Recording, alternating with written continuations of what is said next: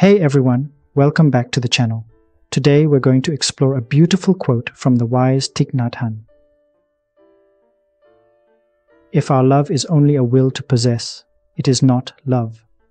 Oh, Thich Nhat Hanh. Title Love is not about control. This quote gets to the heart of what true love is all about. It's about letting go, not grasping. Think about this. What does it mean to really love someone? In essence, Thich Nhat Hanh is saying that if your love for someone is driven by a desire to control them, to possess them, it's not actually love. True love isn't about ownership or control, it's about acceptance, understanding, and compassion. It's about allowing the other person to be who they are without trying to change them or make them fit into your idea of what they should be.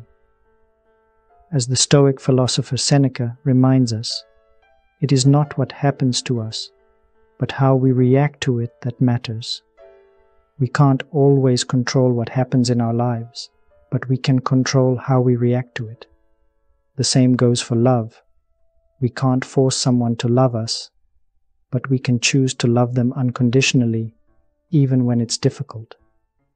This idea of letting go and accepting the other person as they are is echoed in many spiritual traditions. For example, in Buddhism, we learn about the importance of non attachment. We are encouraged to let go of our desires and expectations and to accept things as they are. As the Buddha himself said, holding on to anger is like grasping a hot coal with the intent of throwing it at someone else. You are the one who gets burned we can see how this applies to love. If we cling to the idea of someone being a certain way, we are only setting ourselves up for disappointment.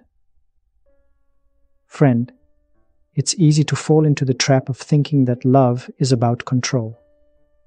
We all have a natural desire to be loved and accepted, and sometimes we try to control the situation to get what we want. But true love is about letting go of that need to control and embracing the other person as they are. When we can do that, we open ourselves up to a deeper, more fulfilling kind of love. If you got any value out of this message, please give us a like, share, and subscribe for more daily wisdom.